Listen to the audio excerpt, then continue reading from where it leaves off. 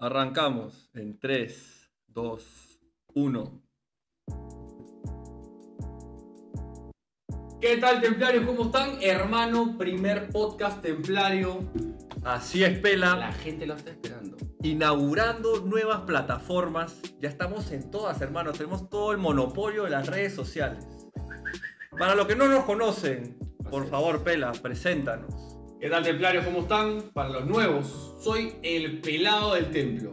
Yo soy Luchano, alias el canguro blanco. Así es. ¿Quiénes somos nosotros? Somos los templarios, hermano. ¿Y a qué nos dedicamos, hermano? Bueno, para la gente que no nos manja, no, no nos conoce, no sabe quiénes somos, somos dos basquetbolistas peruanos que nos dedicamos a difundir el básquetbol en todo su esplendor, hermano. Así es. Así es. Ese esplendor que tú mencionas, no solo nos dedicamos a jugar, sino también tratamos de enseñar un poco y también nos metemos un poco en, en un- temas políticos, temas sociales. Difusión, mano, ¿no? Y justamente hablando de eso, hermano, tú sabes que nosotros somos distintos, pues, ¿no? Y mira, en un primer programa, en un primer programa, en un primer podcast aquí, ya nos metemos en un tema polémico.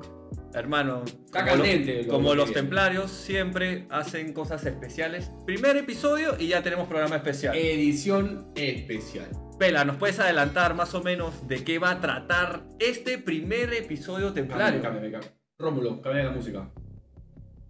Ahí está. Música de suspenso, Uy, hermano. No, mano, espera, espera, espera, espera, espera, espera, espera. Solo, solo quiero que menciones. No, tengo que tomar un poquito de agua. dale, dale, dale, Toma, un poquito. Yo solo quiero que menciones, querido amigo Pela, el tema. Simplemente el tema. El día de hoy, hermano, vamos a hablar de Federación Deportiva de Básquetbol, la problemática a nivel nacional. Productor, comento. Así es, hermano, pero antes de entrar en esos Así temas, vamos a comentar un poco. Oh, hermano, este, me- entré así en tensión con, con el tema, no sé. No, hermano, No, pero nos relajamos aquí un rato, ¿no? hay que relajarnos, Hay que relajarnos hermano. un rato, sí, es un sí. tema un poco Engorroso. engorroso es la palabra, pero, mano, acá no hay nada que, que temer, ni Que tampoco ocultar. va, ni, ni ocultar, tampoco es que vayamos a atacar, simplemente tú sabes que acá estamos cuestionando en pro al básquetbol. Totalmente. Yo y esa que- palabra es importante que menciones, templarios, porque nuestra campaña desde un inicio con este tema federativo no ha sido de ataque, ha sido de cuestionamiento. Y cuestionar no es lo mismo que atacar. Así es, así es. En nuestra condición de jugadores, vemos que hay muchas oportunidades de mejora en el básquetbol nacional y también nos incumbe meternos en estos temas, cuestionar, porque claramente queremos que el deporte en el Perú mejore, ¿no? Ya Así que venimos de varios años de caída. Y que mejore con una estructura, ¿no? Que mejore eh, de una manera limpia, que mejore eh, con una visión no solamente a corto plazo como estamos acostumbrados, sino a largo plazo, ¿no? Que es lo que vemos en nuestros países vecinos, ¿no? En nuestros costados. Así es, hermano. O sea, lo que queremos decir acá es que nosotros ya fuimos. Ah, nosotros no. estamos en búsqueda. 27 años, hermano, nos quedan, ponte, dice que tú el próximo año te estás casando, imagínate ya en dos años más con hijos. Mano, me estoy casando. Espera. Ese efecto de sonido, mano, tú sabes. Ah, ya. Hermano, Bueno, este. nada, como tú dices, necesitamos estructura, Así es. planificación, porque no se trata de que en un año u otro se va a mejorar la situación, No. sino es en el largo plazo y eso es lo que nosotros estamos buscando, que desde ya se cambie y se tenga esa perspectiva a largo plazo y no sea algo cortoplacista como hemos estado Así acostumbrados. es, una, una, una perspectiva y un, y un futuro de un básquetbol profesional, ¿no? Que es lo que esperamos que en algún momento suceda, que anhelamos. Me encantaría de acá, no sé, hermano. Yo tengo 27, estos todavía van a quedar guardados, ¿no? Cuando tenga 57, hermano, ¿no? Ya va a estar tío. Y ir a un coliseo y ver un básquetbol profesional, ¿no? Con de, público, de alto nivel. buena competencia. ir con mis, con mis hijos, mis nietos, mano, a ver básquetbol, qué bonito. Qué bonito, Qué bonito, sería. qué bonito sería. Pero bueno, hermano, es algo que se puede lograr, Así es. pero desde ya tenemos que cambiar el chip, tomarnos las cosas más en serio. No solamente los jugadores, las autoridades, los entrenadores, todo en pro al baloncesto. Yo creo que estamos poniendo una buena semilla eh, este proyecto que iniciamos tal vez un poco de algo entre los dos, como una meta personal para seguir mejorando como basquetbolistas, pues nos dimos cuenta que teníamos una gran oportunidad de meternos en el medio y tal vez ser un poco los referentes. Así nuestro nivel no sea de lo mejor que puede haber aquí, pero tenemos toda la actitud y todas las ganas de cambiar las cosas. Eso, hermano. Eso es lo importante. Has, has mencionado dos cosas importantes. Tenemos la actitud, y eso es lo, lo que a veces cambia un poco el panorama. Y otra cosa que, para colocarle un nombre, ¿no? Eh, lo que acabas de decir, que cambiemos el chip, todo, involucrarnos. Involucrarnos. Esa- es palabra clave, hermano. Acá la gente va a aplaudir porque involucrarse. Palabra clave para hoy. Recuérdenla, involucrarse. Así es. Seguimos. Hermano, bueno, vamos un poco a conocer cuál va a ser la estructura de este podcast para que la gente no se pierda y no y haya una hilación ¿no? de lo que vamos a contar. Eh, el primer tema que vamos a tocar va a ser sobre... Hermano, ¿te parece si ya cambiamos un poco? No, el- es más, es más, escúchame, hagamos A ver. algo. Sabes que esta vaina es así espontánea, ¿no? Ponme la voz de... Ya, ahí va. Espera, Ya. déjame ponerte primero. Atentos, ¿ah? Miren esta. Dale, vamos.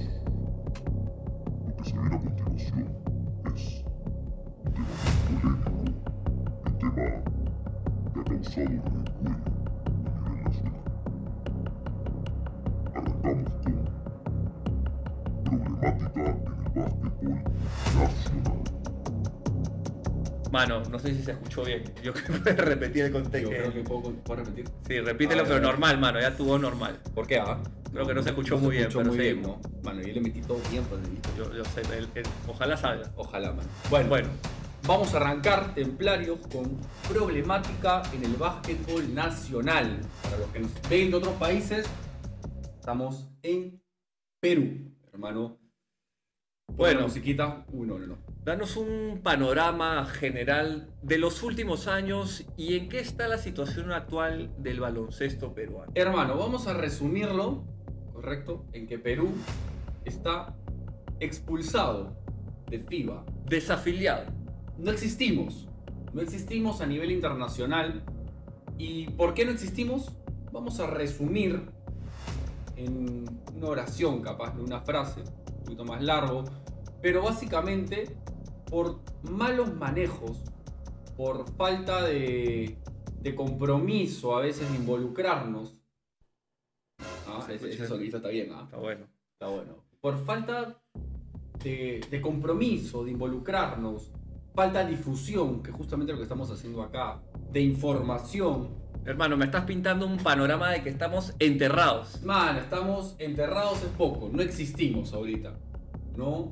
Eh, hacemos lo que nos alcanza aquí a nivel nacional en, en nuestro entorno del básquetbol, pero aquí, en nuestra burbuja que se llama Perú. ¿Sabes qué pasa, hermano? Y es que esto escala no solo a nivel de básquet, sino escala a nivel de sociedad, Así de la es. sociedad peruana.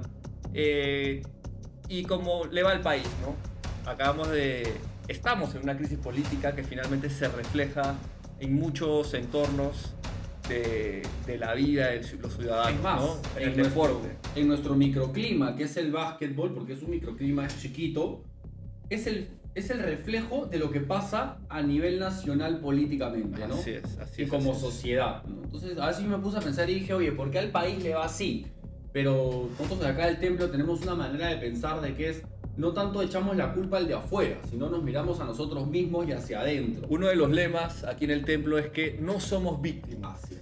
Ante cualquier situación tenemos las capacidades, las habilidades para sacarle vuelta a la situación y no quejarnos, hermano, porque todo el mundo se puede quejar y es la clásica, pues, ¿no? Ay, que el básquet está podrido, que todo hay... La pregunta, Hay muchos problemas. La pregunta cuál es. ¿qué has hecho tú para que eso cambie? Hermano. O sea, ¿qué has hecho tú para que tu realidad cambie? Porque es muy fácil. Yo, cuando estoy en reuniones, cuando estamos en reuniones, con amigos, con conocidos, con gente del medio, la típica. La típica. Y con esta voz, hermano. No, que todo el básquet es un problema, nadie hace nada, ¿para qué me voy a esforzar más? ¿Para qué me voy a quejar? ¿Para qué voy a cuestionar? Mano, siempre es lo mismo. hermano, con los efectos. es. Estamos bien. No, que es. eh, Rómulo, el sonidista, le das Un aumento, un aumento por favor, fin de mes. Primer programa y ya estás Ya con un aumento. rompe, mano. Excelente. Bueno, Entonces, hermano, eso pasa. Es la típica. La típica. ¿no? Y, y ahora, cuando tú preguntas, oye, a un jugador, ¿no? A, un. Cualquier jugador, oye, ¿tú qué opinas de lo que pasa acá en el básquetbol, ¿no? Sobre la problemática. Se resumen. No, en el básquetbol ha habido mucha corrupción, no sé qué. Estamos fregados por tal, tal, tal. Y. Ah, siempre es lo mismo. O sea, a eso se resume el pensamiento por falta de información capaz, sí, uno, y también por falta de querer hacerlo, porque Falta de interés. nosotros hemos estado en la, en la posición donde no teníamos la información y cuando nos preguntaban no sabíamos qué opinar. Tal cual. Y recién, desde que tenemos la comunidad, nos sentimos un poco en la obligación de dar a conocer todo esto de, toda esta problemática y investigar, cuestionar. Así es. Por eso, a comienzos de este año estuvimos ahí preguntando a los principales involucrados. Por ahí que unos dan respuestas, otros no. Pero hemos investigado. hemos investigado y nos hemos empezado a pronunciar ya hace las últimas semanas y creo que bastante gente ha tenido información, pero también en el formato en el que estábamos no teníamos Tanto este- espacio. tanto espacio y todo este tiempo que vamos a tener ahora, ¿no? Igual este podcast, hermano, vamos a tratar de hacerlo media Hermano, pero horita. tú ponme, ponme ahí la voz de- de- del- del, del Minion. Bueno, bueno, la gente está diciendo que así. O templarios, ustedes aquí nos han llamado, güey. O sea, usted. O mano, a ti te ha dicho que te metas, oh. Mano, yo he escuchado también unos comentarios así, pero con esta voz. A ver, Templarios, ¿ustedes a quiénes representan?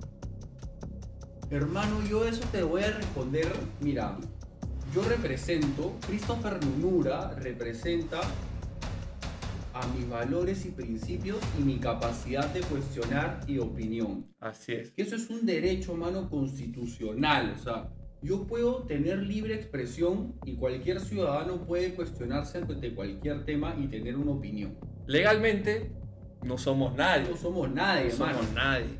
Pero igual somos jugadores que se cuestionan, si tienen Así preguntas, porque quieren que el deporte mejore. Y el plus es que tenemos una red social, una Una chica. comunidad que ha llegado a nivel nacional por el cariño de la gente y por el esfuerzo que ellos ven que nosotros le entregamos. Así es, así es.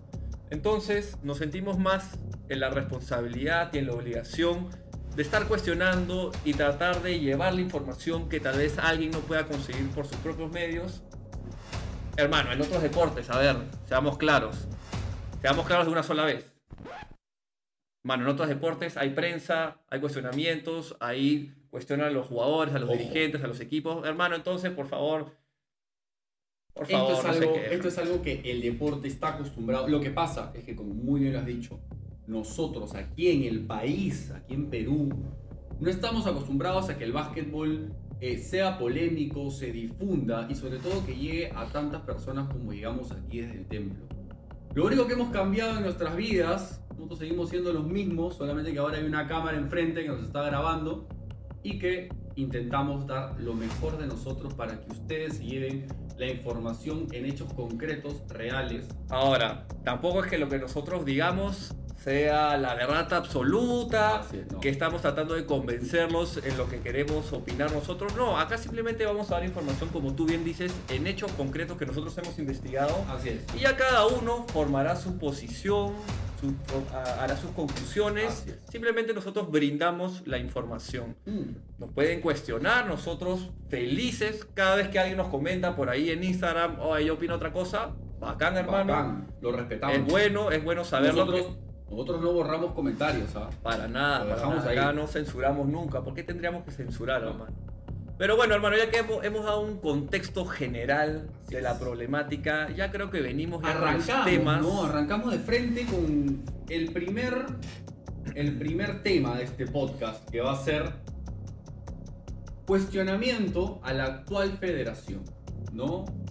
Si quieren más información sobre lo que está sucediendo o algunos datos más puntuales, toda esa información la hemos subido en entrevistas, reels de impacto de 30, 15 segundos eh, en vivos que han quedado guardados que hemos hecho con mucha información.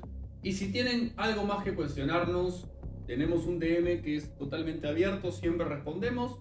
Pelado, canguro, necesito saber esto. Y nosotros tenemos ahorita una misión, hermano, que le hemos puesto la evangelización, el apostolado templario, ¿no? Así es. Ahorita nos sentimos en la obligación de, como bien decías, darle a conocer a los jugadores esta información para que ellos también sean parte, sean agentes de cambio. Qué importante es eso, hermano, que la gente se involucre. Que cambie el chip. Que simplemente no acate todo lo que le digan, sino que primero se cuestione ante lo que le suceda, ante lo que digan, y no Ojo. simplemente reciban y, y que esa sea la única verdad. Que tengan la Claro. información por nuestra parte, que ellos también averigüen y sean partícipes, agentes de cambio. Agentes de cambio. Hermano, ¿puedes repetir el tema, el primer tema? El primer tema va a ser la federación en la actualidad.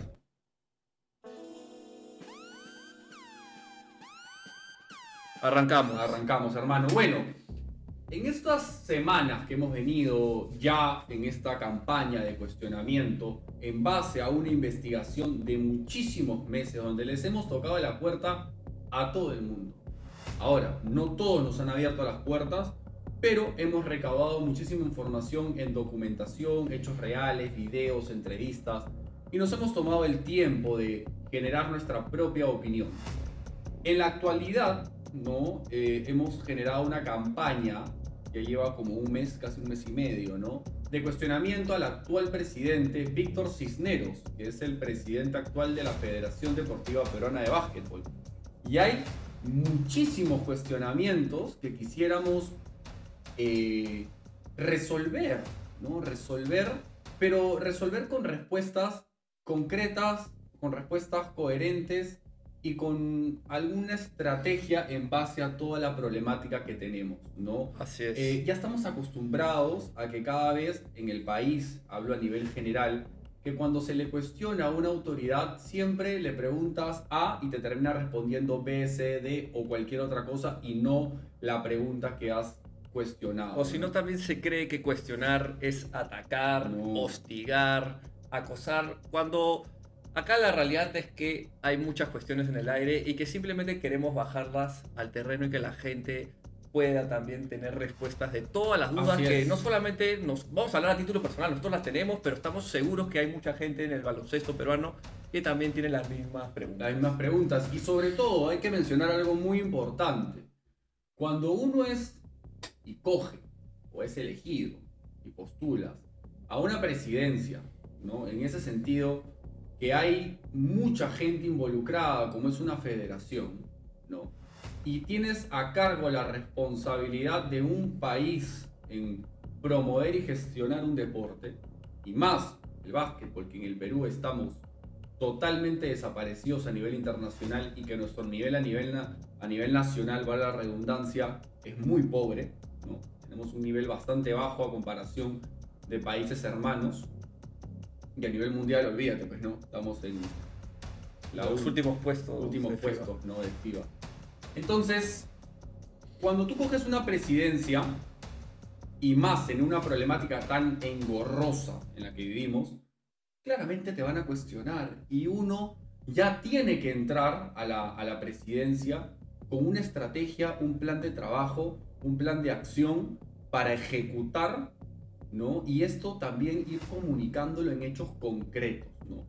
Y lo que hemos visto en estas últimas semanas es que no hemos obtenido respuesta de nuestras autoridades a nivel federativo, ni del presidente, y dejo de contar porque tengo la lista ahí de quién es el- la junta directiva de la federación, pero no le ponemos ni cara a las personas porque no se difunde, no hay medios de comunicación, hemos tocado la puerta muchísimas veces para dar la oportunidad aquí en el templo a que esas autoridades puedan llegar a muchísimas personas, padres de familia, eh, sí. niños, adolescentes, jugadores, gente a pie. sigue abierta esa, Total. esa entrevista. Nosotros Totalmente. abrimos la puerta para que Víctor pueda venir acá a absolver todas las dudas que tenemos si es que quiere. Así- es más, lo invitamos aquí al templo. Así es. Y ya Sí. le hemos hecho la invitación hace muchos meses Así es. pasados Por también. WhatsApp por Instagram, por Facebook. Y por persona, hermano, persona. que ese va a ser el último tema que vamos a tocar, porque una de las bombitas que Es íbamos que- a soltar, déjame poner el sonidito a ver si, A si ver. este es. Ese no era, Ese no era, ese no. A ver. Tampoco era. Ese tampoco. Puede ser. La última bomba que vamos a hablar, El día sábado, el señor Víctor Cisneros estuvo en el Club Real de Lima, el Real Club de Lima, así es.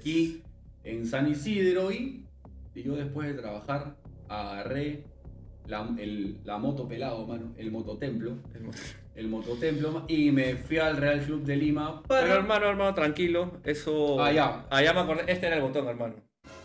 Ah, Este, este era, otro, otro. Ya está. Ahí está. Bueno, vamos a primero con el tema que yo tenía que mencionar. Esa Así última bombita la vamos a mencionar al final. Nos quedan más o menos 10 minutos de podcast, hermano. Vamos a ver si lo hacemos un poco más rápido. Así que bueno, Hermano, vamos, voy a lanzarte un par de cuestionamientos al aire que voy a dejar en base a la investigación que hemos ah, hecho. bueno, dale, dale, dale. Y algunos documentos que tenemos en base en, en concreto, ¿no? Solo te pido que cada cuestionamiento déjame un par de segundos cada vez que termines uno. Ok, perfecto. Primer cuestionamiento, ¿no? ¿Por qué el Comité Olímpico Peruano, el señor Renzo Mangiari, que es el presidente del Comité Olímpico Peruano del COP, Habló Google, man. Bueno, metió Google. Acá tenemos OK Google. Está que se. Está que se. Está que habla solo. Está que me responde. Está que me responde. Ya que nadie me responde, está que responde Google, man. Dale. ¿Por qué el Comité Olímpico Peruano ¿no? avaló y avala en la actualidad, ¿no? yendo en contra de su propio reglamento? No sé. eh, porque, bueno, este señor Renzo Mangiari nos ha cerrado las puertas, no nos ha atendido, yo me reuní hasta con su secretaria, así que, bueno, pues no, Eh, creo que todo eso está, lo pueden ver en, en Instagram, lo que pasó con el COP, pero la, el cuestionamiento era, ¿por qué, señor Renzo Mangiari, usted avala a esta federación, no? ¿Por qué en los documentos aparece el COP como un promotor de esta nueva federación sin tener reconocimiento internacional?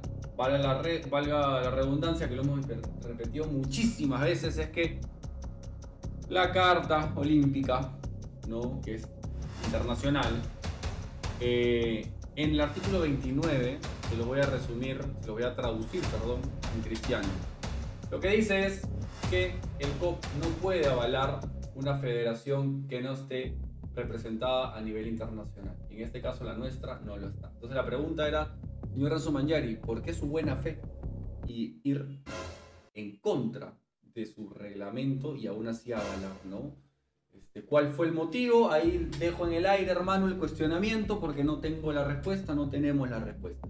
Otro cuestionamiento también importante a autoridades es cómo consigue el IPD que el IPD incumpla sus mandatos en fechas en las elecciones y luego falten a su reglamento para entregarles RENADE. Hablo el tema de las elecciones porque el IPD da un plazo para que hagan elecciones, esta federación lo hace fuera del, plazo, aún así eh, le dan el visto bueno a la actual federación, me pregunto por qué, no tengo la menor idea, y después les entregan RENADE y en el reglamento de RENADE dice que una federación no puede tener registro nacional de deporte, paréntesis RENADE, sin tener una representatividad a nivel internacional, en este caso en el baloncesto FIBA.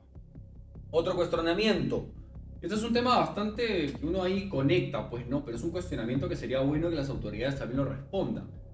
Eh, ¿Por qué Víctor Cisneros fue y avaló, sobre todo avaló, las elecciones que no fueron reconocidas por el IPD ¿no? del señor Javier Quesada, que fue el anterior presidente?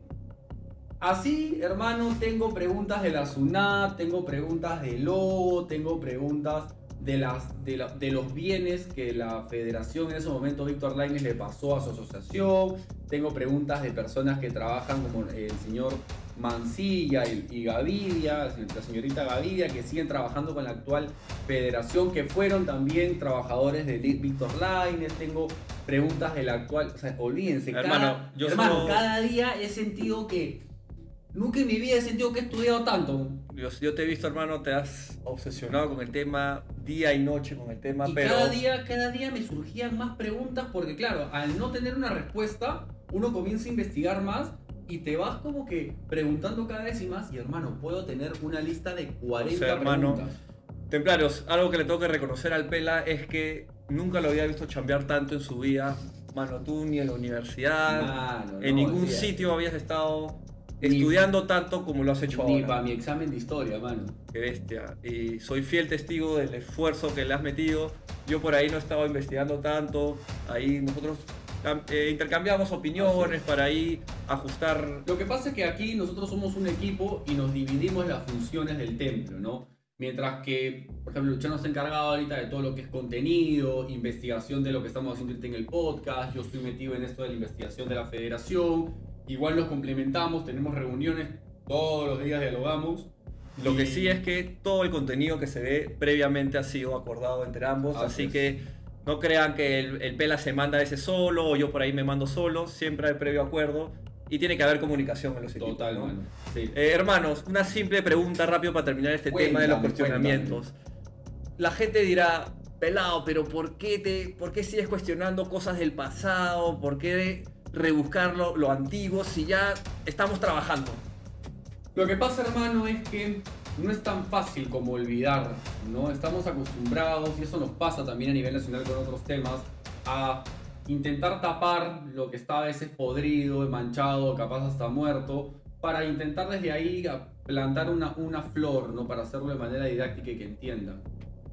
Eh, este problema viene de muchísimos años atrás. No hablo de 2009 cuando comenzó Víctor Liner. Hablo de muchísimos años atrás. Y el tema es que siempre se ha intentado tapar nada más. Tapar, tapar. Y abajo siempre ha estado con problemas económicos, problemas de estructura. Entonces yo tengo la, la certeza de que cuando uno conoce su pasado, conoce la historia, eh, es donde comienzan a haber cambios. Si uno simplemente tapa, tapa, tapa y no quiere hablar del pasado y quiere mirar de aquí hacia adelante, no siempre funciona. Y te aseguro que podría ser más de lo mismo, Así es. como ya hemos estado acostumbrados. Así es.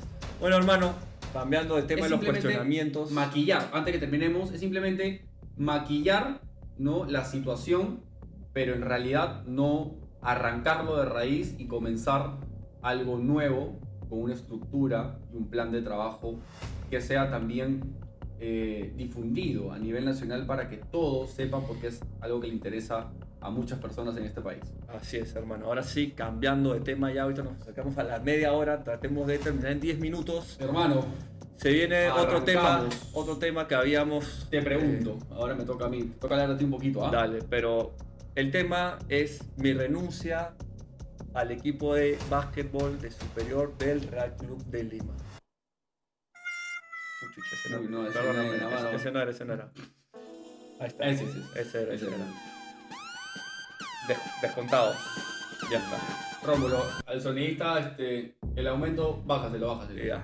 Bueno, hermano, ya hace una semana exactamente, Has renunciado, espérate, mientras que me vas contando, déjame tomar agua porque es un tema es un tema delicado. delicado, ¿ah? Bueno, hermano, decidí eh, renunciar al Real Club porque eh, estoy seguro de que yo tengo unos principios y valores a los cuales tengo que regirme y hay circunstancias en las que tal vez traspasen un poco mis valores, Escalan. escalan mis principios y mis valores y por eso tuve que tomar la decisión.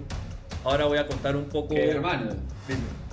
te perjudica en, en- en- varios aspectos. Te Totalmente, totalmente. A nivel deportivo, te perjudica a nivel económico, a nivel de continuidad como deportista. Así es, la, la decisión no ha sido nada fácil, No, pero, pero tenía que hacerlo eh, porque si no yo no iba a poder después eh, con mi moral seguir jugando pese a que sabía todo lo que había pasado y ahora lo voy a contar para que también entiendan un poco lo, lo que ha pasado. Seguramente para algunos les parecerá exagerado, pero yo según mis principios y valores Estás tranquilo. estoy más que satisfecho con, con la decisión que tomé. Eso es lo importante. Bueno, básicamente, cuando comenzó toda esta campaña de cuestionamiento que hicimos, hermano, el primer video que subimos, que simplemente era un video de contar la realidad del basquetbolista peruano Y de cuestionamiento.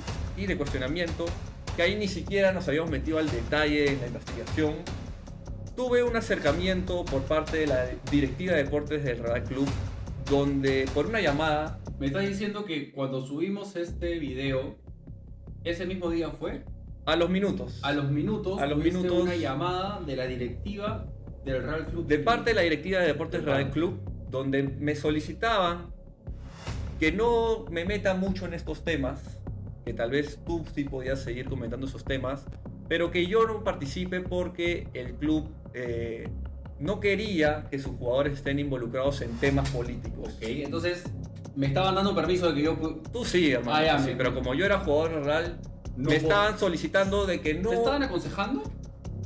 en- En esa primera llamada fue un... ¿Te estaban no, aconsejando? no me estaban recomendando en este momento, sino me estaban condicionando.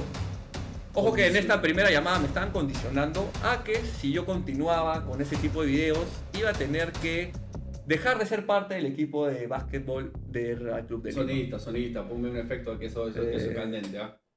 No, no, no, o sea, aguanta, aguanta, aguanta. Así es, hermano. Obviamente yo al escuchar eso me puse fosforito, hermano, porque Claro. Nadie. Eso, eso es censura. Nadie te puede decir qué decir en, en tus redes sociales. Claramente si tiras un comentario de odio, pues no, algo de racismo, discriminación, ahí ok. Pero bueno, en este caso ni siquiera yo hacía alusión al Real Club. Entonces yo decido llamar a mi entrenador para comentarle el tema y él me comenta que seguramente no había sido bien trasladada la información, ok. que simplemente era una recomendación más no un- una condición.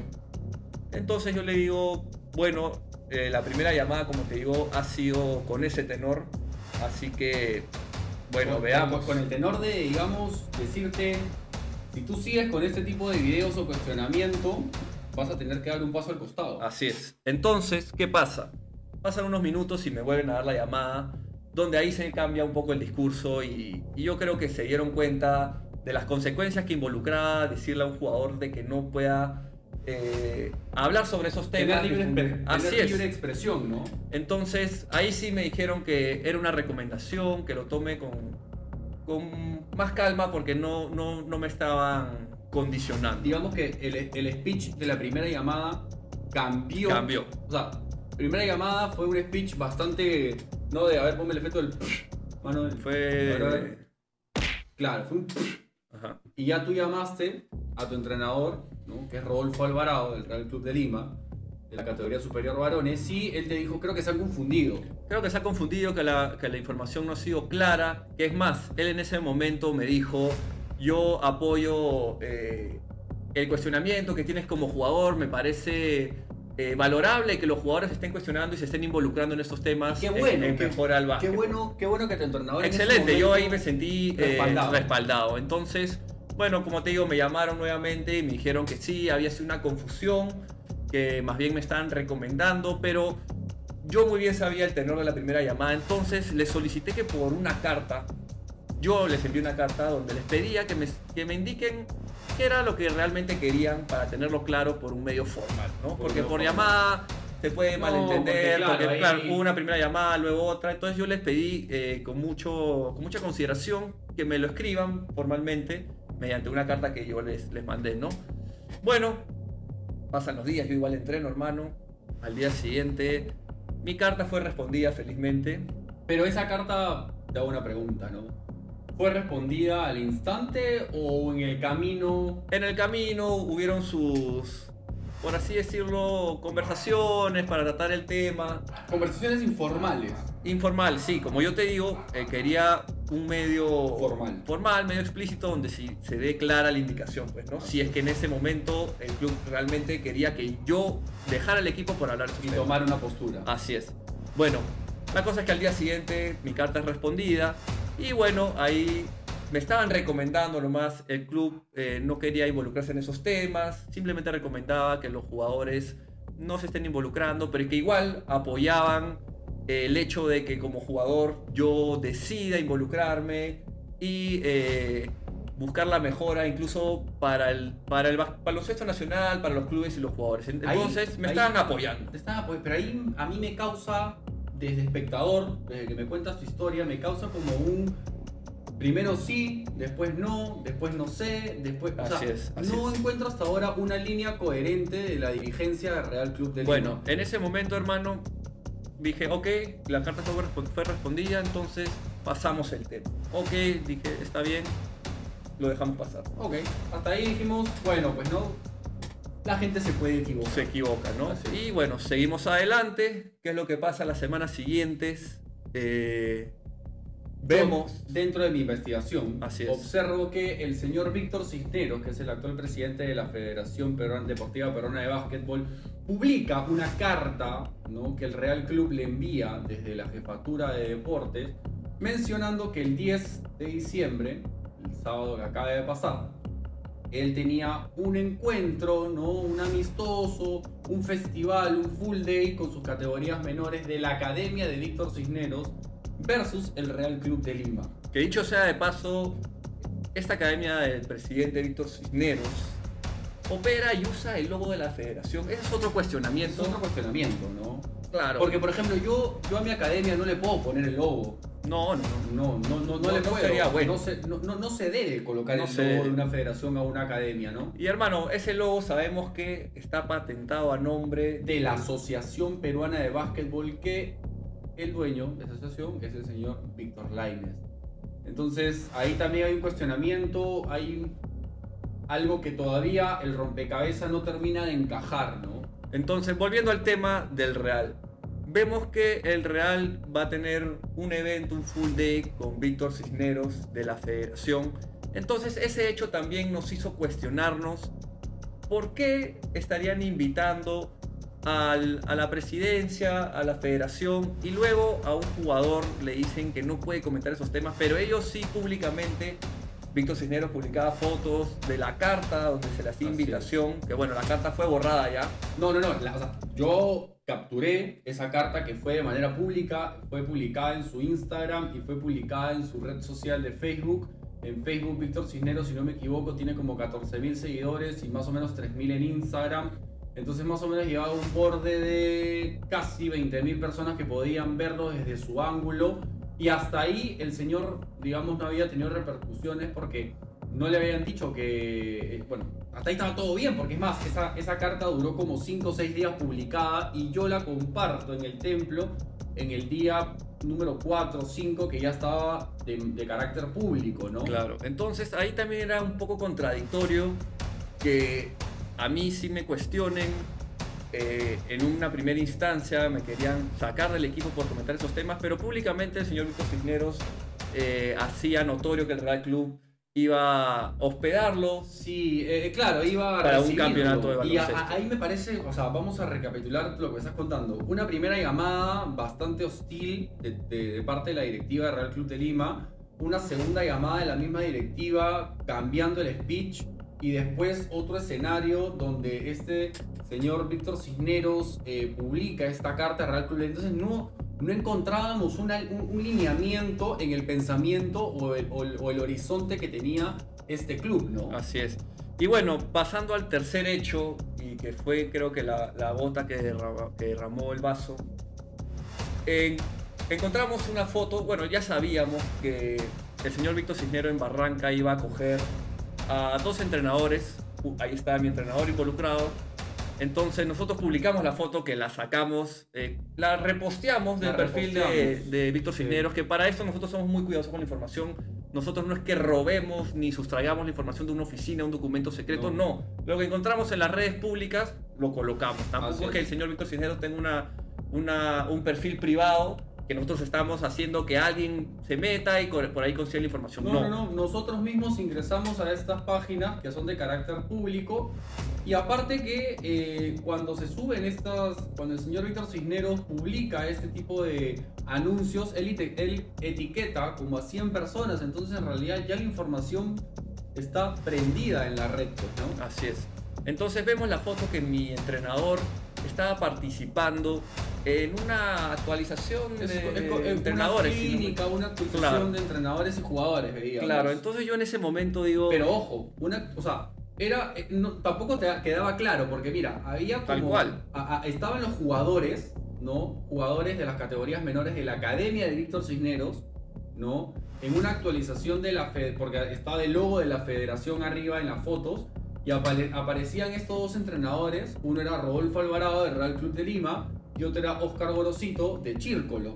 Entonces nosotros dijimos, no entiendo, ¿es, de la federación, es para la academia, o, o- o capaz lo han relacionado. Quedaba muy confuso, pero el hecho es que, bueno, tu entrenador estaba ahí, ¿no? El entrenador estaba ahí y con eso creo que están trabajando. Pero pregunta, él no, él no- en algún momento no te había dicho como que, este, qué bueno que estén cuestionando. Esa es, la razón principal de la que yo tomo la decisión, porque en primera instancia yo creía que él apoyaba el cuestionamiento de los jugadores, en este caso de nosotros dos y algunos que participaron en el video, pero luego me doy con la sorpresa de que él está en un entorno muy cercano a Víctor Cisneros y yo me preguntaba, digo, mi entrenador, ¿por qué también no se hace el mismo cuestionamiento si ya a mí me ha dicho que está a favor de nuestros cuestionamientos? Y ojo que Rodolfo Alvarado a nosotros nos conoce desde que tenemos 17 años. Así es, o sea, y es más- él nos ha dirigido en Real Club de Lima cuando éramos juveniles, cadetes. ¿no? Así es. Y hay que acá, acá hay que aclarar algo. Nosotros personalmente no tenemos nadie, nada con nadie de los que estamos mencionando, Así ni con Víctor, ni con Rodolfo, ni con la directiva del Real Club. Personalmente, llevamos una relación bastante cordial. Bueno, al señor Cisneros no lo conocemos, Yo sí lo conozco. A los conocidos, pero eso es la última bombita. Así es. Pero personalmente no tenemos nada contra ellos. Así es. Como personas no podemos decir nada, simplemente al ser... En este tema político. en temas políticos y es más, nosotros podemos opinar, es libre Así opinar, es. no estamos ni siquiera atacando ni difamando, son hechos que han pasado en mi experiencia y yo los puedo contar tranquilamente. Hermano, pero otra pregunta que te quería hacer. O sea, bueno, la, la foto fue publicada, todo. ¿Tú te comunicas con.? Así es, con yo lo Rodolfo? llamo y le digo, oye, este, ¿qué pasó aquí? Pensé que, que estabas alineado a nuestro cuestionamiento. Y bueno, en ese momento también le digo, ¿no? Que había tomado yo la decisión de dar un paso al costado. Y en ese, en ese momento no se dio la oportunidad de contar detalles de, de por qué estaba en el entorno trabajando con Víctor Cisneros en esa academia. Tampoco lo, yo fui a, a presionarlo a que me dé los detalles, simplemente le comuniqué que estaba renunciando y en realidad quedamos en buenos términos, todo bien, como te digo personalmente, yo a Rodolfo lo estimo mucho y por eso mismo lo llamé, tranquilamente hubiera yo podido salir a hablar y a comunicar esto sin previo aviso, pero no, yo le tengo aprecio, así que por Choca, eso me ¿no? acerqué. Choca este Sí, tipo sí de, chocó. de- de, como saber que tenemos entrenadores de hace muchísimos años que nos han formado en este deporte, en el transcurso de nuestro crecimiento, capaz de cadetes hacia superior y convertirnos ya en jugadores este, la categoría máxima de la liga en la que jugamos. Pero claro, e- e- es como e- este deporte aquí, para que lo entiendan un poco más, el deporte aquí, el básquetbol, casi que es medio familiar, porque todos nos es. conocemos, nos conocemos de muchísimos años, los jugadores no es que los peleemos por contratos millonarios de millones de dólares, esto es muy, muy cotidiano, muy familiar, todo, tú vas a un coliseo y sabes quién es quién, o sea, Claro, tal cual. Simplemente eh, mi entrenador no estaba en la misma posición en la que yo estaba. Opiniones diferentes, se respetan. pero, te pero- las dijo, No me dio el detalle, como te digo. Simplemente ya los hechos eh, me daban a entender de que... hablaron por sí solos. hablaron por sí solos. Obviamente sin... sin simplemente cuestionamientos. No se puede afirmar nada aquí porque no, no, no nos compete. Así es. Pero el hecho es que lo que a mí más me chocó fue, ok, el, el club a mí sí eh, Te me cuestiona, me dice que no puedo hablar sobre ciertos temas, pero ellos mismos sí reciben a la federación en su club, donde hay No, o- o- fotos y ojo, todo. Claro, reciben la federación Y al- eh, en realidad reciben a la academia del Así es. presidente de la federación. Que bueno, pues no uno, ahí tampoco podemos hacernos la vista gorda. Obviamente hay conflicto de intereses entre la academia, si eres presidente, si eres el presidente de la liga, si eres... no o sea, obviamente no hay, ahí no podemos afirmar nada ni especular. Pero hay un conflicto de intereses y ahí tú dices, no entiendo, mis videos son de cuestionamiento totalmente neutrales y ellos dicen que no están metiéndose en este tema, pero sí lo hacen y después el entrenador de mi equipo va y dicta, pero a él sí no le, no, no- no le han dado ninguna recomendación. El mismo entrenador no te da explicación. Entonces es un arroz con mango, hermano. Así es, por eso hermano, yo también no quería quedar como un doble cara en que yo estoy cuestionando a la federación, pero estoy participando eh, en un club que en cierto sentido se relaciona con, con la federación. Entonces dije, yo no soy rabo de paja, me tengo que retirar, doy un paso al costado. Entonces Hermano, tomé esa decisión yo y yo soy, muy, yo soy muy consciente... Muy apenado porque dejes de jugar y, y Yo lo sé. tantos meses. ¿no? Yo soy muy consciente de toda la repercusión que trae a mi vida. Dejo de jugar, dejo de percibir un sueldo, pero yo creo que pues esto, en cierta manera, dar un ejemplo a algunos jugadores si es que en algún momento les pasa algo, en que nuestra posición actual como jugadores, realmente nosotros no, no tenemos ningún interés de por medio más que jugar, entonces uno puede tomarse la libertad tal vez Sí. de, de renunciar si es que algo no le parece y si no está de acuerdo a sus principios y valores. En realidad esto ya depende de cada uno. Depende de cada uno Sí. y, y ya cada uno toma su decisión, hermano. Yo desde aquí, te digo a título personal, Christopher Nura, que soy puta, tu hermano, estoy orgulloso de ti porque creo que has tomado una decisión con bastantes huevos, con bastante personalidad, con mucho carácter, con tus principios y valores, yendo hasta en contra de eh, el tema económico, tú como jugador que recibes un sueldo, eh, el, tema de que tanto te has esforzado para entrenar, para participar, para jugar en los años que te quedan, y que al final el- el tema político termina no yendo a chocar ¿no? contra tus intereses como jugador. Así es, hermano, pero Bueno, tengo una, una conciencia. y duermes tranquilo. Dormir con la conciencia tranquilo, no tiene precio, no hay, ningún, no hay ningún sueldo que equipare eso. Así que cambiamos de tema, hermano. Hermano, te cuento y les cuento a ustedes, templarios, que por otro lado, hermano, yo también he renunciado. Hermano, Hermano, cuéntanos. Eh, ese solito está bueno, hasta que Está está bueno, las ¿no? últimas, ¿ah? Bueno, Templarios, yo también renuncié al Club Palcor, no por un tema de federación ni por algo parecido a lo que le pasara acá a mi compañero, mejor amigo, hermano de vida, Luchano. ¿Qué pasó? ¿Estás activo ahora? Dale. Ah, esa sonidita, un momento, fin de mesa. Sino que bueno, el club donde jugué, jugué poquísimo tiempo, hermano. Jugué Copa, Copa Crisol. Después jugué tres, tres partidos he jugado, creo, de Liga de Lima. He estado poquísimo tiempo, dos meses. Hermano, simplemente pediría una aceleración. Una aceleración. Ya ahorita vamos a llegar a la hora y no queremos que sea tan largo esto. hermano, y nos- falta todavía la conversación, ¿no? Hermano, podríamos conversar Olvídate, horas de horas. horas de horas. Bueno, para adelantar y para no hacerla tan larga con el tema de mi renuncia al Club Park Palcorp es porque la informalidad de este club es evidente. La informalidad desde que no me entregan, o sea, me pagan sin un recibo por el horario, no tenemos campo, eh, la incomodidad del equipo era latente. ah, llegamos a jugar un partido una semana entera sin entrenar. Entonces, el nivel de informalidad y compromiso que tenía eh, el dueño, porque es un solo dueño, Club Palcor no es que haya una infraestructura detrás, es, es un dueño que ha creado este equipo, ¿no? Era. A mí no me convencía y en lo personal tenía como algo que no me pintaba bien. Entonces yo digo, y no puedo tener para, una, para un aspecto principios y seguir mis principios y para otro hacerme el ciego y como que nada pasara. Entonces, hermano, eh, decidí, llamé a mi entrenador, le dije, le expliqué las, las circunstancias en las que yo estaba maquinando esta idea. Eh, recibí el apoyo de mi entrenador José Basile este, y di un paso al costado, hermano. Y como dices tú, eh, a veces uno tiene que hacerse eh, como jugador, ¿no? respetar y aunque sea las mínimas condiciones para, para hacer este deporte que es eh, un campo, bueno, que, que dé la talla como para no lesionarte, ¿no? El campo donde estábamos. justo- Hermano, tuvimos un pequeño problema técnico. Así es, La cámara. de vuelta. La cámara subió de temperatura y se apagó. Pero seguimos. Yo estaba diciendo, hermano, como el tema de la informalidad, que para muchos les sonará que, oye, pero ¿por qué te quejas? Hay otros equipos que pasan por lo mismo. Pero hermano, la realidad es que tenemos que dejar de estar ac- acostumbrados a la informalidad, a la mediocridad. Tampoco acá nos vamos a hacer los revolucionarios de que todo esto va a cambiar de un momento a otro, pero es momento de empezar a poner Ah, estos pequeños pares, ¿no? Y quiero, quiero dejar claro para cerrar este tema de mi renuncia que yo no me creo el Papa Juan Pablo II ni, me creo, ni, ni soy ningún santo.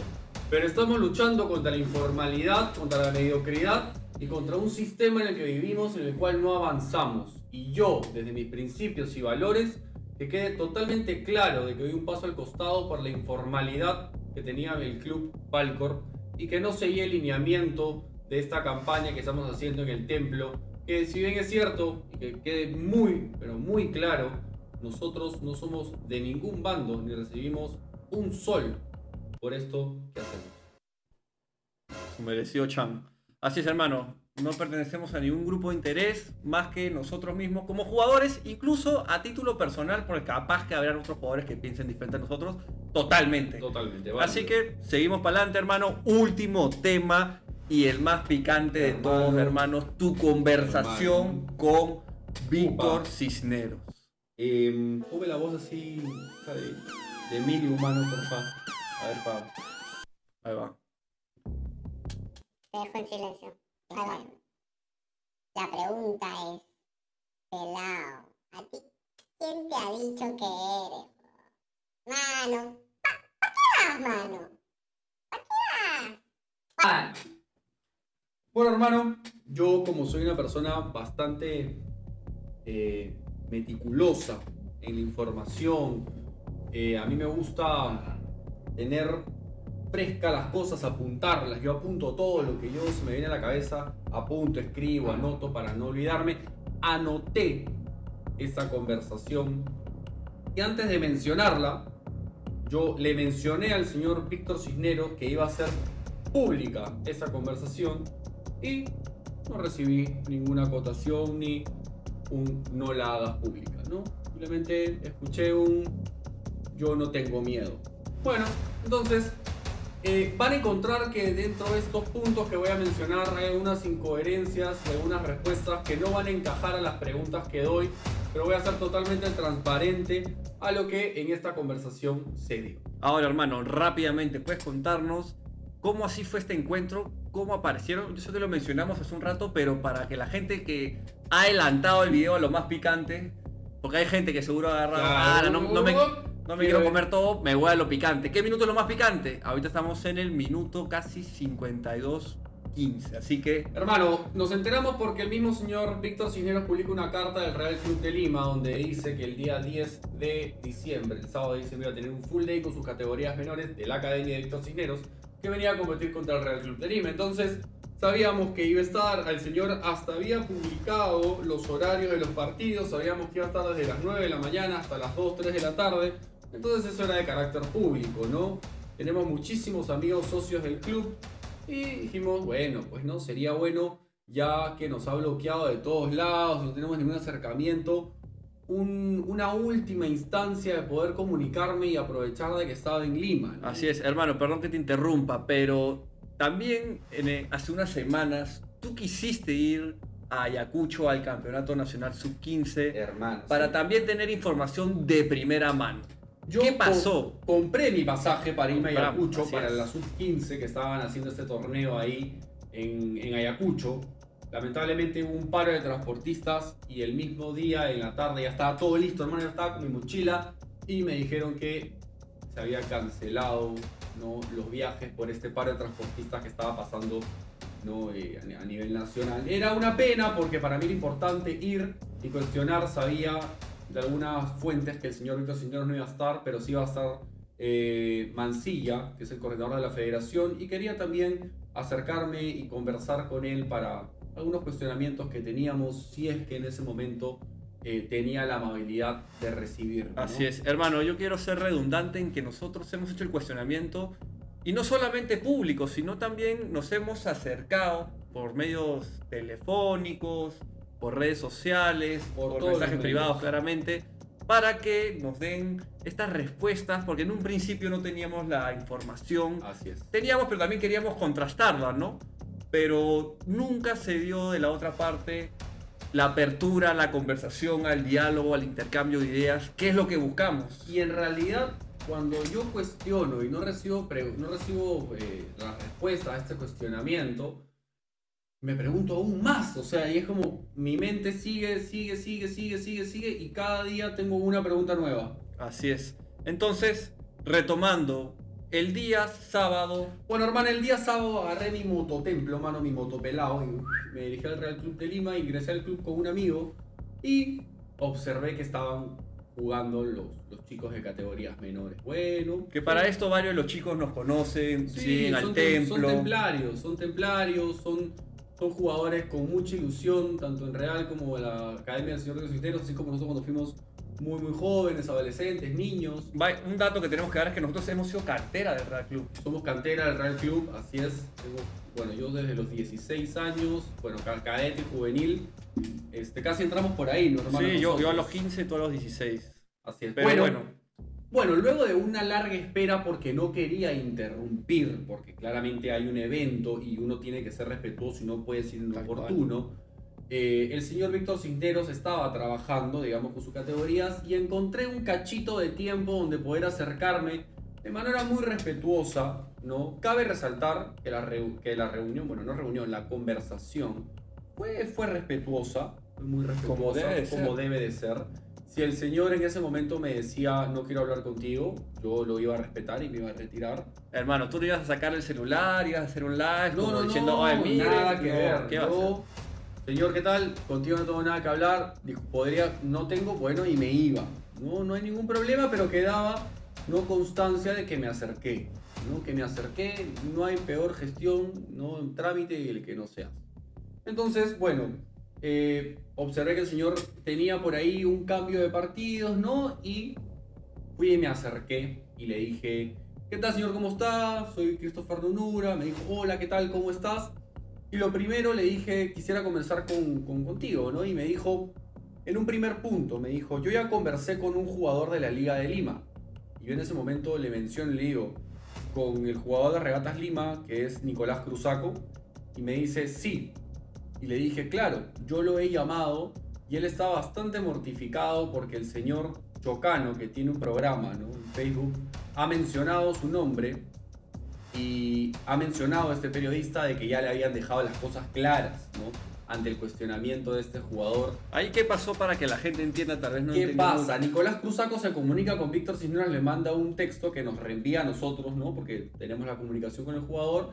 Y después este, es- el señor Víctor Cisneros lo llama, ¿no? A Nicolás Cruzaco y tiene una conversación. Nosotros nos enteramos porque eh, el señor Chocano tiene un programa en Facebook y vemos que había, había mencionado que se habían comunicado y que los cuestionamientos habían sido resueltos, ¿no? Eso está grabado en, en un programa del señor Chocano en Facebook.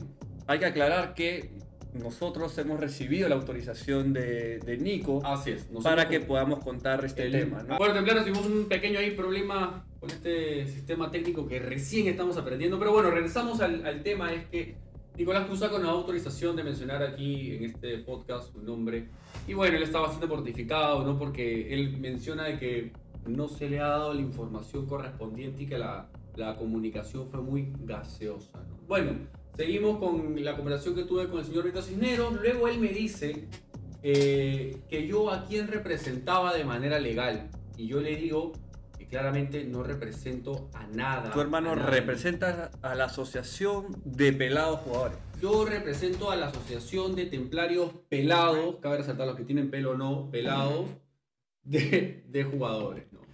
Entonces, bueno, le dije, soy un jugador, he sido ex selección nacional juvenil, soy jugador en actividad y tengo una comunidad a nivel nacional bastante grande donde nos hemos cuestionado y si fuera tan amable de darme una entrevista. Claramente eh, en ese momento me dijo que no la daría. En un tercer punto me dice que no dará una entrevista porque tiene porque no tiene FIBA aún y que además tiene que hacer el calendario 2023.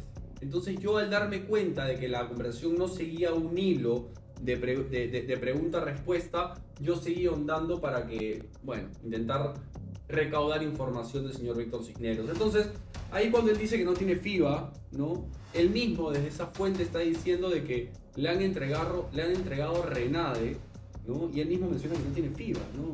Ahora la pregunta es, ¿cómo le han entregado Renade sin la representación eh, internacional? ¿no? Bueno, es otro cuestionamiento. Vamos a avanzar más rápido, hermano, porque hay todavía más sobre esta conversación. Se pone medio candente después, a ojo, porque hay algunos involucrados. Me comenta que él ya tiene todo en regla, ¿no? Sobre todo a nivel nacional, que tiene registros públicos y RENADE, y que muchos decían que no le darían RENADE y que ahora está esperando respuesta de FIBA para avanzar con ese tema. Entonces, cabe resaltar de lo que él menciona que FIBA aún no da respuesta, es decir, seguimos expulsados y no existimos a nivel internacional. La conversación sigue y yo le sigo pidiendo que por favor me dé una entrevista en el templo para que él pueda comunicarse a nivel nacional, ¿no? ya que teníamos el alcance. Menciona que es un entrenador de provincia y que quiere hacer las cosas bien y que no le, no le va a dar una entrevista a todo el mundo, que él tiene que seguir avanzando con su trabajo y no dará declaraciones. Ahí yo quiero parar un momento, hermano. Eh, qué gran oportunidad para ahorrarse el tiempo de estar comentándole a cada persona su trabajo con una entrevista al templo donde tenemos un gran alcance y sobre todo de jugadores, ¿no? Yo creo que ahí es una gran oportunidad que está perdiendo Víctor para poder expresar con mayor impacto y mayor alcance al básquetbol nacional. Yo quiero acotar sobre este punto que estamos tocando, que él menciona que es un, es un entrenador de provincia, ¿no? Esto a mí me causa malestar porque siempre venimos eh, en el tema de división, ¿no? Tú eres de aquí y yo soy de aquí.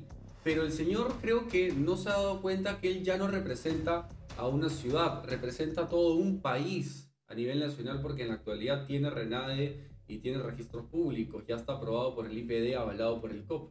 Así es, hermano. Cuando uno juega afuera, no están diciendo, oye, tal jugador, tal entrenador, es de Christopher, tal... Christopher Nonura representa a Lima, ¿no? O No, sea, no, no, se habla como nación, como país. Así es. Así que yo creo que también creo estuvo de más tal vez decir Sí, este tema que es de provincia. yo- Es buena hora que se esté descentralizando algunos puestos y todo, porque ciertamente Hay muchísimas cosas en el país que se tienen que descentralizar, Totalmente. no solamente el básquet. Así cabe- es, cabe así es. Bueno, entonces después, ¿no? Eh, yo le cuestiono sobre unas fechas al, que es importante reconocer. Ojo, ah, es importante estas fechas porque eh, fue lo único engorroso y de, y, y de toda la investigación que intentar preguntar, porque dale que es una conversación muy corta, que se que además tenía- es- están en plenos partidos, pues, ¿no? Claro, ha- habían chicos que ya en capaz cinco minutos iban a comenzar un partido, tenía muy poquito tiempo para conversar, igual la, la conversación fue muy respetuosa, vuelvo Muy alturada. muy alturada, ¿no? Acá no, no hubo alzadas de voz, ¿no? Ni, ni insultos, ¿no? Fue muy alturada de ambas partes, eso sí lo reconozco. Y bueno, se le cuestionó sobre el 22 de abril, según un documento del IPD, el 22 de abril ingresó una solicitud recién para que el IPD reconozca su junta directiva. Y él el 25 de abril, o sea, tres días después, él da una entrevista en Facebook a dos señores, Julio y Julián, creo si no me equivoco, la no me acuerdo el nombre ahorita de este programa, pero ya después de tres días, él se autodenominaba presidente de la federación cuando todavía no tenía un documento legal y formal, lo que él siempre habla en sus redes sociales de formalidad, de transparencia. En ese momento no, no tenía la representación, no todavía su junta directiva como IPD. Recién el 18 de agosto el IPD le da el visto bueno con una resolución de presidencia del Consejo Directivo. Entonces estamos hablando que después de meses recién él recibe la aprobación y la constancia de que él era el presidente de la Federación Deportiva Peruana de Básquetbol. ¿Y qué te dijo al respecto, hermano? eh, la respuesta me dejó como cuando pones un efecto de chan, ¿no? Este, su respuesta fue, más alto. hermano, la respuesta de él fue, en el Perú puede pasar cualquier cosa. Un día eres presidente y el otro día pasa otra cosa. Vaya, Eh, vaya respuesta. Yo la verdad es que igual entendí en ese momento que la conversación no tenía ninguna, ninguna, ningún lineamiento, ninguna coherencia, entonces no podía ahondar ni preocuparme en ciertas cosas y lo único que hacía era seguir preguntando, ¿no? Y se le mencionó que queremos ayudarlo, ¿no? Yo le digo, queremos ayudarte, Víctor, eh, con una entrevista para que puedas comunicarte a nivel nacional, ya que tenemos el alcance a nivel público, y respondió que no la daría. Ojo, en ese momento me dijo que no la daría y yo le menciono porque le digo, nosotros no queremos eh, boicotear tu trabajo, queremos al contrario, queremos ayudarte para que tú resuelvas estos cuestionamientos y puedas seguir trabajando. Entonces me men- ah, yo le digo, eh, me has bloqueado de todos lados, de redes sociales, de WhatsApp, ¿Por de qué, todos mano? ¿Por qué te lados. bloquearía? ¿Por qué? Y me menciona, ¿no? Me menciona que me bloquea de todas las redes sociales y todos los lugares donde yo me he comunicado porque lo estaba hostigando. Mano, pero ¿por qué eres así? Porque eres hostigador, hermano. y que él se sentía hostigado en ese momento por mi acercamiento. Yo le menciono y le digo, Víctor, a título personal, Christopher Nura, ¿te sientes hostigado con mi presencia aquí? Y me mencionó que sí. Yo estaba teniendo, eh, ya lo estaba hostigando, ¿no? Hermano, pues yo me pregunto, ¿cuestionar es sinónimo de hostigar? Yo acá quiero ser abogado del diablo y quiero decirte que capaz, como no estamos acostumbrados en nuestro medio, en el básquetbol, a ser cuestionados y las autoridades no tienen medios de difusión ni periodistas que cuestionen y no es un tema tan polémico el básquetbol, entonces capaz él todavía no siente la presión de lo que es un periodismo deportivo, ¿no? Así es. Yo comparto mucho también esa anotación que dices porque no estamos acostumbrados, no hay prensa y si hay, eh, tiene poco alcance, poca repercusión. Entonces, capaz esos presidentes o directivos no están acostumbrados al sistema, al, al medio mediático. Claro. ¿no? Tampoco Y- es que haya mucho público, también los jugadores no son profesionales, porque claro, si esto fuera no profesional y a la gente le pagan, obviamente lucharían más por sus derechos y porque las cosas mejoren, ¿no? Pero sabemos la realidad y por eso entendemos un poco de que el señor se pueda sentir un poco hostigado, Así es. porque claro, no estamos Pero, pero, pero acostumbrados a desde, esto. desde- acá le envío un mensaje, ¿no? A él o a cualquier directivo, cualquier presidente. Señores, en cualquier deporte a nivel mundial, ¿no? Eh, esto es muy común, el tema del cuestionamiento, el tema de de que alguien se cuestione, un periodista cuestione, un jugador cuestione, cualquier persona puede cuestionarse y es bueno cuando una, un directivo, una figura, digamos, que maneja, ¿no? En este caso una federación, responde y aclara y al final el camino es mucho más transparente y limpio, ¿no? Y Pela, esto también pasa con los jugadores, a los jugadores también se les cuestionan. Totalmente. Oye, ¿por qué has jugado tan mal? ¿Por qué has metido tan pocos puntos? ¿Por qué no cogiste tanto- tantos rebotes? ¿Qué ¿Por qué tus estadísticas han empeorado? ¿Por qué esta temporada está físicamente mal? Claro, se te ha visto por ahí saliendo, que no has estado entrenando, la concentración. Hermano, en todos los deportes a todos se les cuestiona. Así es. Bueno, luego me comenta, ojo con esto, ¿ah? esto es muy importante porque aquí para mí hay como que un doble discurso y esta parte es creo que de las más picantes, este ángulo. Y ya con esto terminamos porque después del punto número 9 viene el 10, 10 11 y ahí acaba y ya la estamos haciendo conversación. bastante Así es. Entonces me comenta que él no tiene ningún problema con la Liga de Lima, ¿no? Él me dice, yo no tengo ningún problema con la Liga de Lima y que él no tiene nada en contra del presidente de la Liga de Lima, que es Percy Acosta. Entonces ahí yo lo cuestiono y le digo, eh, ¿y entonces por qué el comunicado ¿no? que da sobre la Liga de Lima y sus jugadores, ¿no? el tema de que no están federados, de que... eh, bueno, entonces él me menciona ahí y me responde lo siguiente. Yo di ese comunicado que es de carácter público, lo pueden ver en las historias destacadas del templo, si, si lo quieren pedir, pídamelo, se lo paso por interno. Eh, lo hice porque estaba recibiendo muchos ataques desde ese lado de la Liga de Lima. Entonces, yo en ese momento dije, ok, eh, y él me cuestiona, me cuestiona, ¿no? Y me dice, eh, me cuestiona que no le doy con el mismo peso a la Liga de Lima ni a Persia Costa, que no mido con la misma balanza y que el día que yo cuestione al señor Persia Costa y a la Liga de Lima, él me dará una entrevista en el templo.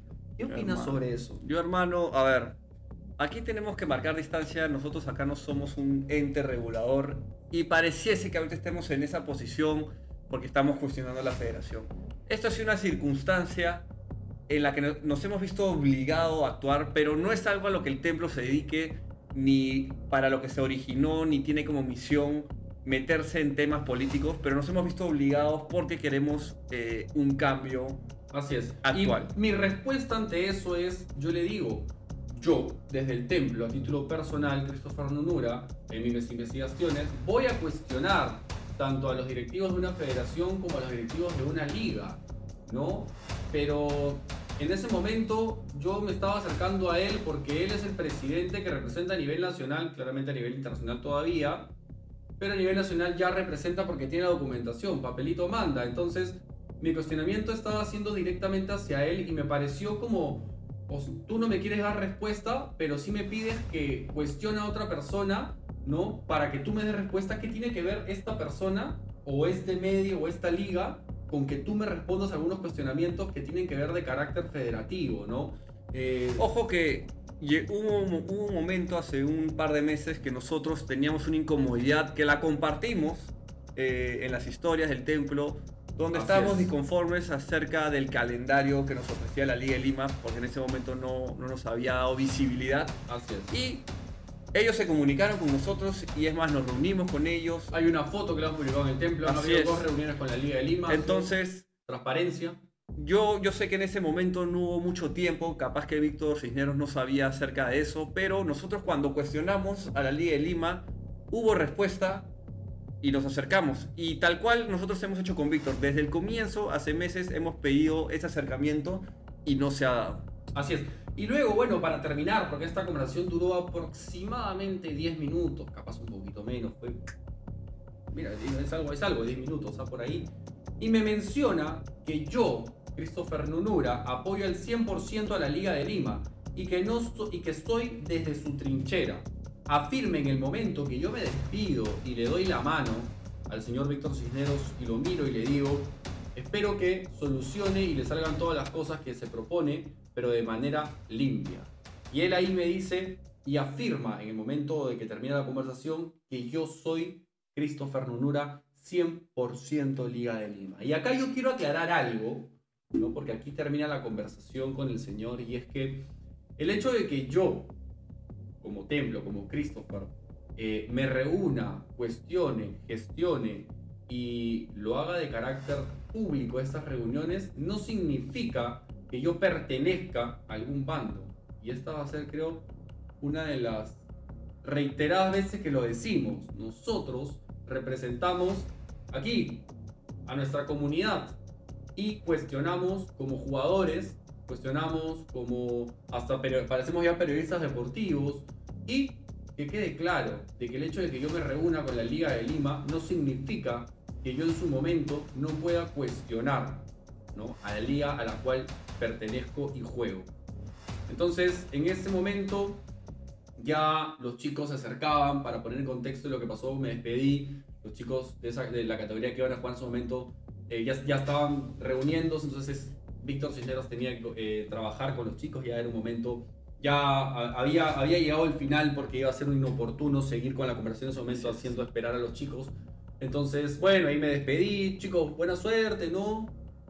Y listo. Y bueno, todo esto al final yo lo plasmo y lo escribo para que quede claro la hilación de la experiencia que he tenido en la conversación con el señor Víctor Cisneros. ¿no? Así es, hermano. Bueno, para ya cambiar un poco el, el ambiente, Mano, pongo otra musiquita que concluyamos. una, una horita, mano, hablando sobre estos temas bastante polémicos, la federación, tu renuncia, mi renuncia, la conversación con Víctor Cisneros. Bueno, templarios, Ha sido un programa especial. Tal vez no van a haber muchos de este índole, pues es un tema político un poco Engorroso. incómodo, engorroso. Tal vez la gente quiera buscar un espacio de entretenimiento, lo cual este programa en especial no es mucho entretenimiento, sino es más informativo, más político. Pero van a ver otros. van a ver más, más el contenido en general, casi la Diverso. mayoría del contenido va a ser diverso, Diverso. sobre temas de básquet, cómo mejorar más, es, cómo trabajar la mente, experiencias propias. Vamos a hablar sobre muchas cosas, pero esta fue una edición especial. Y qué bonito mi hermano, qué bonito, y, y- y a- a- a- acá me va a poner... ¿Por qué no se pone Felipe, hermano? Man, últimamente Ponme, estado- pon- pon- ponme la canción de que no se pone Felipe, la, la, la. ¿Cuál es esa? Esa, man? mano, tú ya sabes cuál es. ¿Esta es la que te pone Philly? ¿Qué? Esa- Esa esa- es, mano. ¿Esa? Esa es la que le pongo Felipe, mano. Ah, ya, ya, La ya. gente se confunde, ¿ve? la gente se confunde. Eh, hermano, es sentimental, hermano. Entonces, hermano, todos estos podcasts y todo este contenido que estamos haciendo va a quedar registrado para la eternidad, hermano. Y qué gracioso va a ser cuando nos veamos aquí después de muchísimos años y veamos todo este trabajo que estamos haciendo. Así que, nada, hermano. Como les decía, eh, hacemos una pequeña pausa que, que va a pasar aquí. Sí, sí, sí, sí, hacemos una pequeña Una pausa. pequeña pausa que están tocando la puerta. Están tocando la puerta, Un hermano. segundo. Regresamos, regresamos. Un pequeño Regresamos, corte. Un pequeño corte comercial ahí, Así hermano. es. Bueno, para terminar el podcast, estoy bastante contento de haberlo iniciado en este polémico, polémica circunstancia. Así es, como repetimos, es una edición especial, los próximos podcasts van a ser más tranquilos, tal vez no tan largos, de diversos temas, más entretenimiento. Se viene el canal de YouTube, eh, con vlogs, ya hemos estado grabando, falta un poco de editar. Hermano, la verdad que ojalá mi jefe no me escuche, mano, pero me gustaría ya Que, dedicarme a esto, mano, nomás. Aunque no reciba ni un sol. hermano, yo sé Es que divertido. en algún momento nuestro proyecto va a tomar muchísima fuerza, más de lo que estamos tomando aún. Y, hermano, estoy convencido de que el templo funciona porque nos complementamos en persona. Mano, ya comenzaste. Ya comenzaste, mano. Tranquilo. no puede con su genio. Bueno, mano. Bueno. Cerramos, el podcast, Templarios. Estamos muy agradecidos. Ojalá les haya gustado este espacio. Este tema tal vez un poco engorroso, pero se vienen más temas. coméntenos eso nos ayuda. Va a estar en todas las plataformas. Comenten. Compártanlo, eso es Comenten. importante, compartirlo. Es una hora y quince, mano. Estás en la combi, estás en el taxi, en tu carro, te estás yendo mano a la universidad, te estás yendo a entrenar. ¡Pum! Escuchas tu podcast templario. Y, y, y, te- y, mano, y como que suspenso, te matas de risa, mano. Porque acá Claro. los templarios somos multifacéticos. Así hermano. es, así es, templarios. Así que nada, cerramos con broche de oro nuestro primer episodio. Se viene mucho más, trataremos de que sea uno a la semana al menos. Aunque sea. Así que nada, templarios, nos estamos viendo. Adiós. Gracias, templarios. Compartan.